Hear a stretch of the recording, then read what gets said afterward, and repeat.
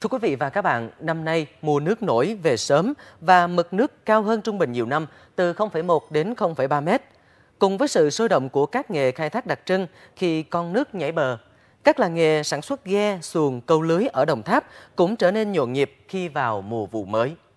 Những ngày đầu tháng 8, làng nghề đóng xuồng ở Rạch Bà Đài thuộc xã Long Hậu, huyện Lai Vung trở nên nhộn nhịp tất bật hơn khi năm nay mùa nước nổi về sớm. Trước đây, làng nghề này có gần 140 cơ sở giải quyết công an việc làm cho hơn 1.000 lao động tại địa phương. Tuy nhiên, do nhiều yếu tố, trong đó lũ không về, mực nước thấp nên sức tiêu thụ giảm đáng kể. Hiện trên địa bàn xã chỉ còn hơn 40 cơ sở đóng xuồng ghe còn duy trì hoạt động thường xuyên. Năm nay thì à, theo dự báo thì tình hình nước lũ rất nhiều. À, đầu mùa đến giờ thì nói về cơ sở thì nó cũng có phát triển ra thêm khoảng 5 cơ sở nó qua chuyển qua ấp Long Thuận trước đây chủ yếu là Long Hòa với Long Hai giờ chuyển qua Long Thuận thêm khoảng năm cơ sở nữa thì ờ, nói chung ra bình thường để đóng 100 chiếc thì ờ, trong mùa nước này nó sẽ phát triển thêm khoảng 30 trăm. Xuồng ở rạch Bà Đài được sản xuất theo thị hiếu sử dụng của người trong và ngoài tỉnh với nhiều kiểu dáng như xuồng cui, xuồng mũi bằng, xuồng ba lá, xuồng tam bản.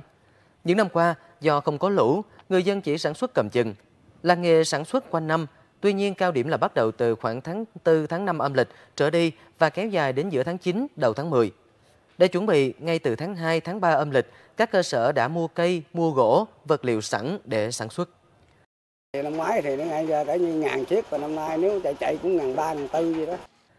Cùng với các làng nghề đóng xuồng ghe ở huyện Lai Vung, các cơ sở sản xuất lưới đánh bắt cá thuộc xã Long Hưng B, huyện Lấp Vò cũng đang tất bật sản xuất để đón lũ. Nối nghiệp truyền thống gia đình, anh Đặng Ngọc Chiến, chủ cơ sở lưới đánh cá khoa nhỏ ở xã Long Hưng B cho biết, với hơn 70 nhân công và trung bình mỗi ngày, cơ sở xuất bán từ 5 đến 10 ngàn chiếc lưới các loại. Cái quy mô thì làm quanh năm luôn chị, nhưng mà tập trung thường à,